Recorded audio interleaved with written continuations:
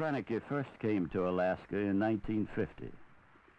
After spending some years on Kodiak as a diesel mechanic and heavy equipment operator, he found a new home. 120 air miles southwest of Anchorage is a small Alaskan valley called Twin Lakes. With the help of a tripod-mounted, timer-controlled camera, he filmed himself building a cabin and literally carving a new life in the environment. We spent two weeks with Dick one summer and found a man with little need to advertise his inner reaction to the wilderness. His oneness with nature is an experience rather than an expression. Well, the reason I decided to come in more or less full time was in uh, 1965. I was helping a welder pour a Babbitt bearing on a crab boat. We had a big ladle of uh, molten Babbitt metal and poured it in here, and we poured in about a cupful, and uh, there was a big explosion, and all this Babbitt metal come out, just like snow, only it was molten lead, and hit me in the face and him in the face, and it got in my eyes pretty bad, and uh, for a short time they didn't know if I was going to see very much.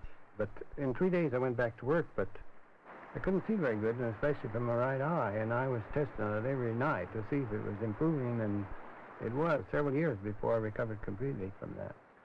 I decided that I would quit this racket of pouring Babbitt metal and that sort of thing, and working with dirt falling in your eyes from under heavy equipment and that, and I would uh, go to Twin Lakes and build me a cabin and and enjoy my eyesight a little bit if I had any left.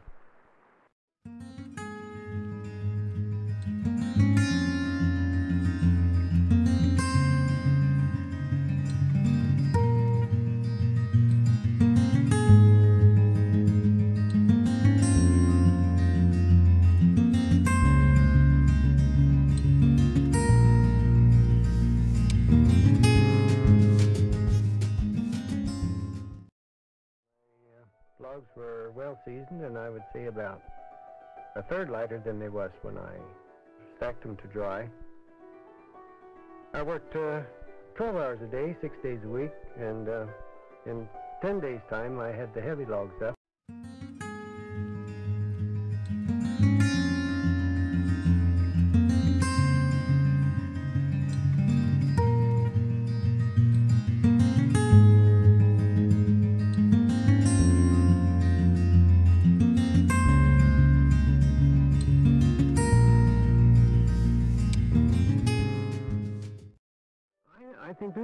Satisfaction in in having everything that you made yourself. You know, like even your your door hinges and everything, cut her out by hand with with the tools you got.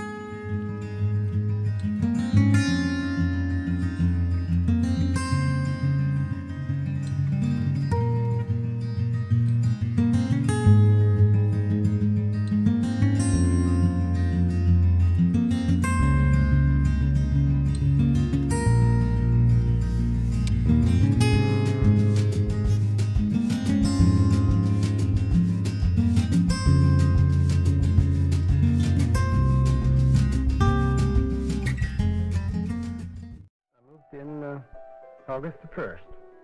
There was still work to be done, but uh, it was livable.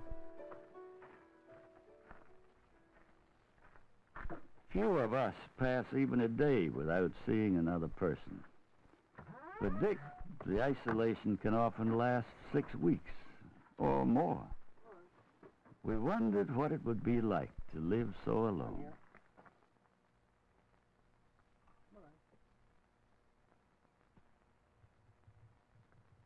You boy.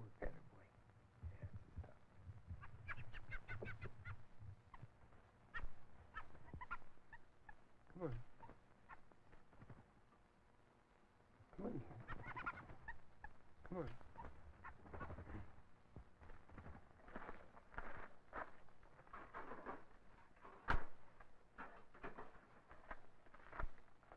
I can't say that I was ever ever lonely. I was always uh, busy. I always had something going, uh, observations to make, or wood to cut, or letters to write, or something. It seemed that uh, the time was was short to get everything done.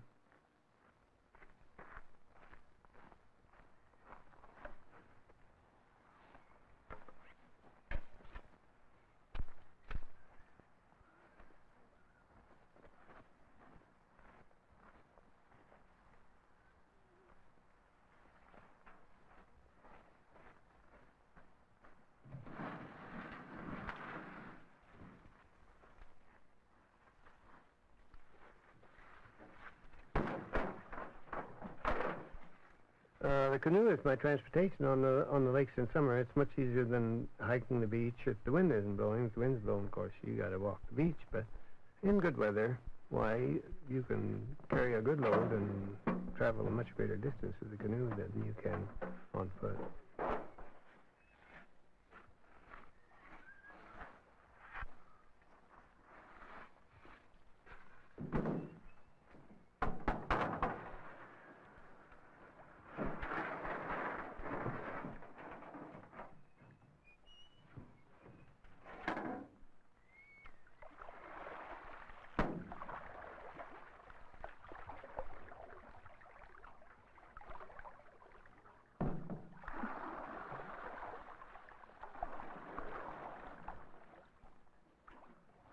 I've never had any trouble with the canoe on the lake, but if I did, it would probably be the last time because this water is very cold, and I doubt that if I was 200 yards from shore that I would make it to shore. I find that a person alone is much more cautious than when you have uh, someone with you, because you know that if you mess up, why, that's it.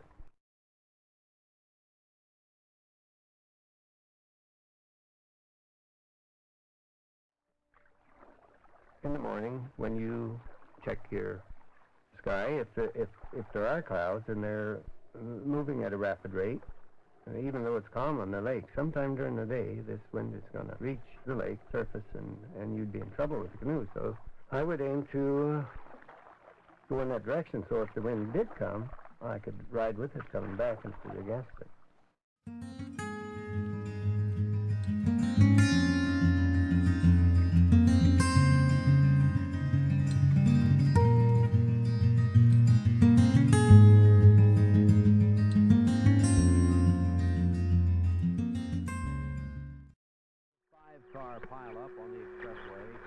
Traffic to reroute to me, the stuff that comes over radio these days is uh, just out of tune with Twin Lakes country. You know, how how does that sound? All the problems the world's got in a place like that. I just couldn't see it. I didn't want to hear it. I just, uh, boy, this is this is pretty nice here. Let's not spoil it. You know, it's like an old sourdough in Anchorage told me. He says, uh, people come up here from the States and they say, gee, it's nice here. No hustle and bustle and uh, really take it easy. And he says they're not here 30 days until they're trying to make it like it was where they came from.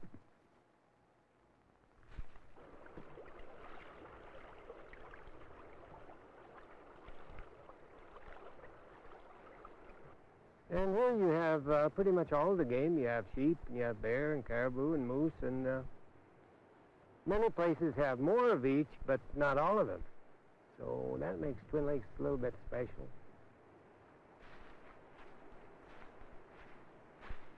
I hesitate to go on the mountain unless there's a good breeze.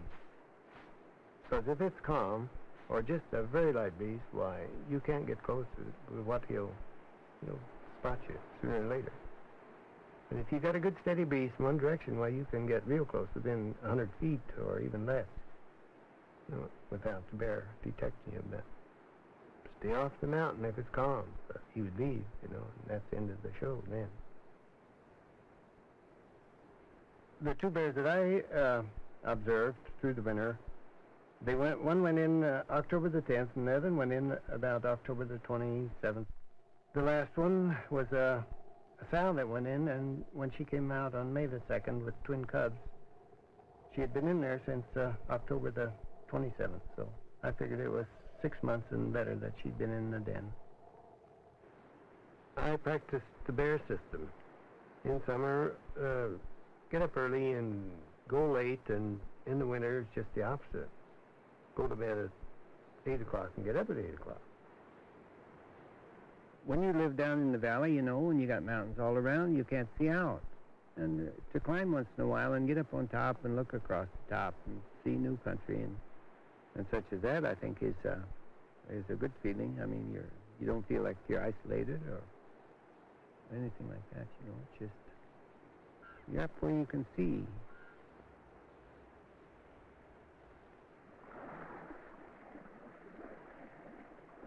Dick's camera is his poet's pen. His eye caught the smallest elements of the vast beauty of the land.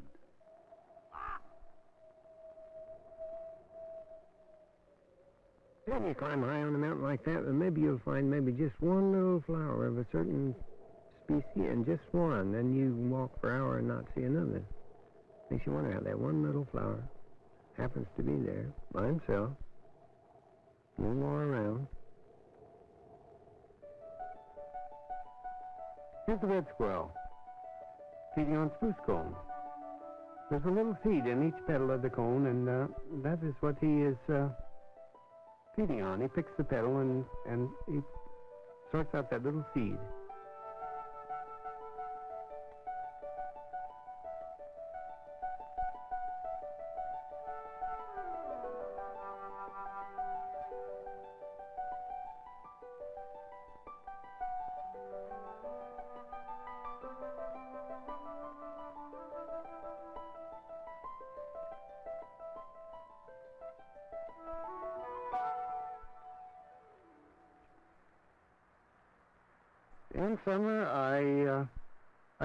Quite a bit. I lived on uh, trout to a great extent for meat and uh, and berries. But I didn't kill any big game because for one man it's too much, too much meat. Too much would go to waste. During the first winter I spent at Twin Lakes, I'd cut a hole in the lake ice to get water for cabin use. On one occasion, I decided to do some uh, ice fishing. So I baited a hook and uh, dropped it in, and I went out about a, an hour later, and I had a nice uh, big lake trout. I pulled him out and put him in a dishpan and let him swim around a while and took him back out and slipped him back in again. I, I just felt that that was a good place for him was down there in that nice cold water. And I had plenty to eat anyway.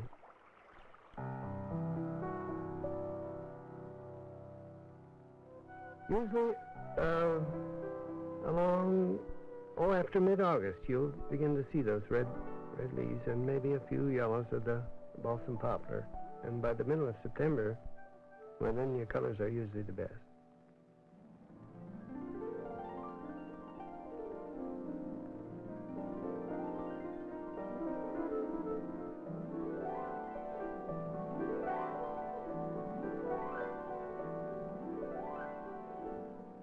What I noticed most about the fall colors that uh, Twin Lakes country was the, the amount of reds in the colors. There's reds and greens and browns and yellows, but predominantly red. And on one side of the lake, on the south slopes, the predominant color is yellow because of the balsam poplar and, and trees of that sort. And on the other side, it's uh, predominantly red because of the bog birch and, uh, and blueberries, blueberry leaves.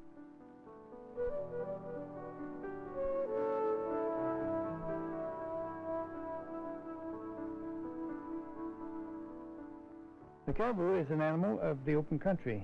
He likes to get up on a high ridge where the breeze blows to keep the insects away. Moose, you might not see him for all summer long until running season, and then he loses all his good sense and comes right out in the open and afraid of nobody, and that's when hunting season opens, and that's end to end. Somebody's looking for him.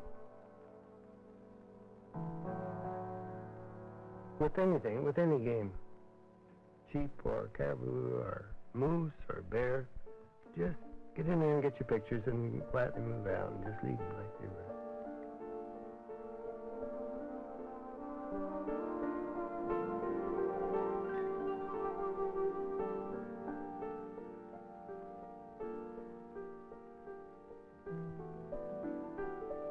Colors are really bright about September the 15th. They might last for a week in this condition, and then uh, suddenly they turn brown. And then you might get a, a, a good dusting of snow, just enough to make the countryside look gray.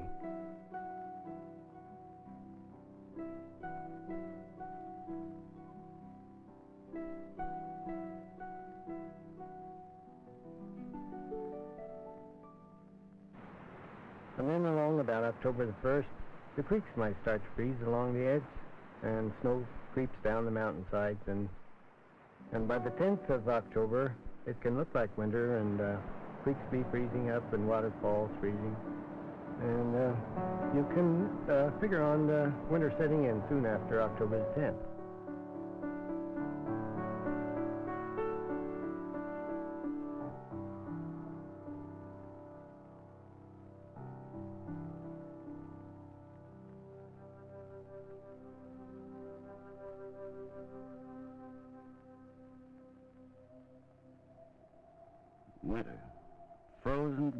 50 below.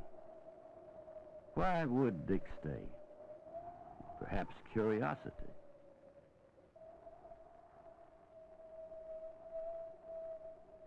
I was always anxious to get out after a good snow because they say after snow you know who lives in the country when you're out uh, snowshoeing and uh, you see tracks you can uh, well you can determine the concentration of rabbits where they are and if you see a good number of rabbit tracks usually there's the tracks of the lynx cat which is raised on the rabbits and tracks of the fox and the wolverine. He runs his circuit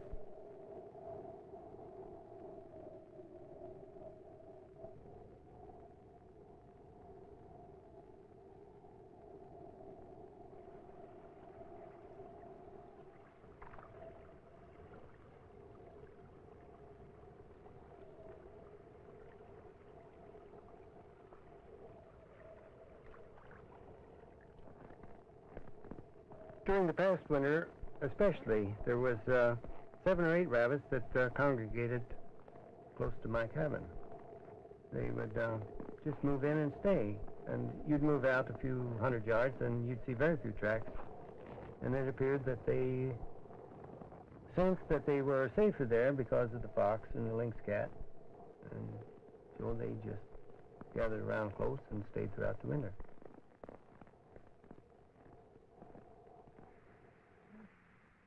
I knew this ermine was in the woodpile, and so I went for the, a scrap of meat to tack to a wood log there and uh, see if I could get him out for pictures.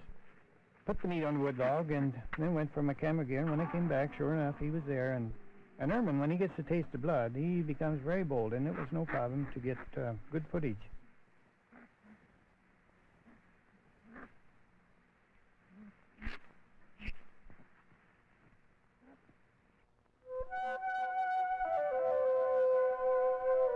First winter I was there, throughout the winter, the ice was groaning and cracking continually, just day and night. The ice was just, just talking something terrible. When the ice is young and thin and freezing hard, why, it has a sharp, sharp uh, crack to it, a sharp report. As the ice grows thicker, it gets deeper, and when it gets uh, four feet thick, well, then it's very low key.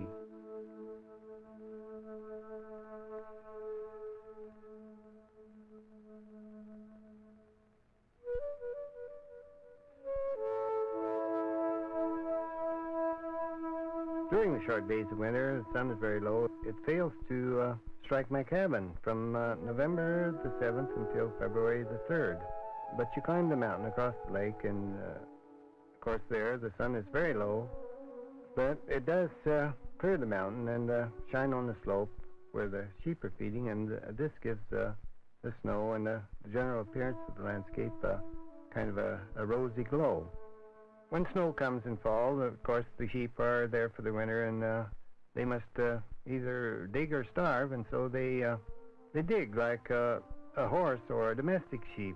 They will paw with their front foot and uncover feed, and and then eat and move forward.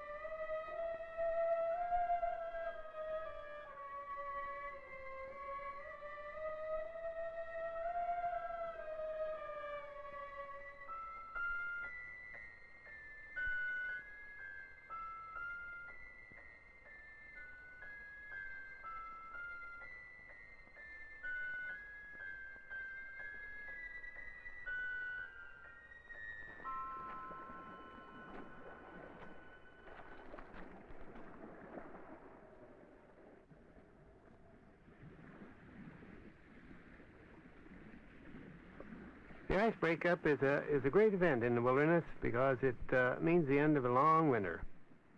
After about seven months, you are really happy to see the ice go out.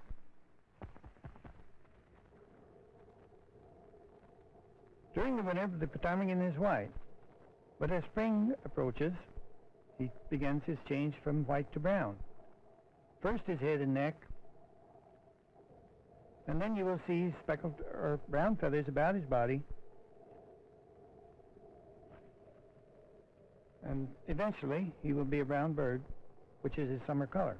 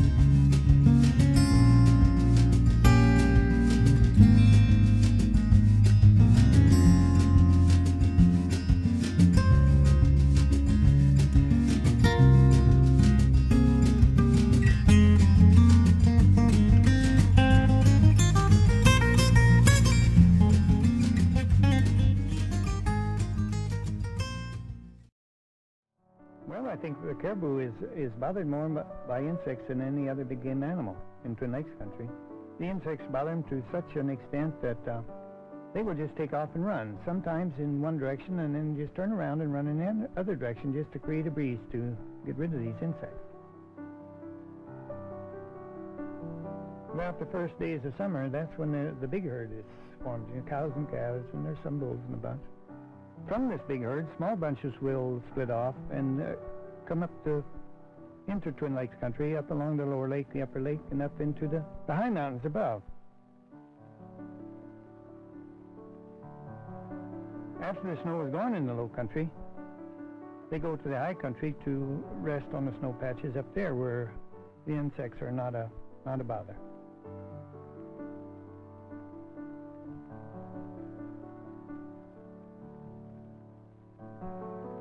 In order to get close, I uh, aim to move while they're moving, because they only detect movement. If they're moving when you're moving, they won't notice you. But if they're standing still and you move, they'll spot you right away. Well, caribou will will lie down, and oftentimes they'll stretch out and lay flat. You, I've seen maybe a group of a dozen that would just just lay out flat, and you would swear that they was all dead.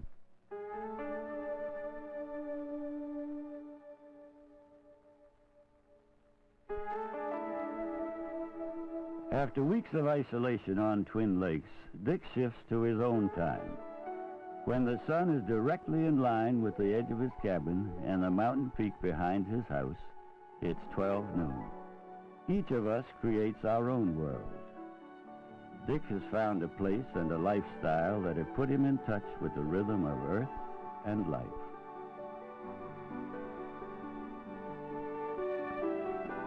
It's kind of hard to come out of civilization and, and uh, fall in again, you know, into the way things go, you know, after you've been in there a while. You get to be a brush rat.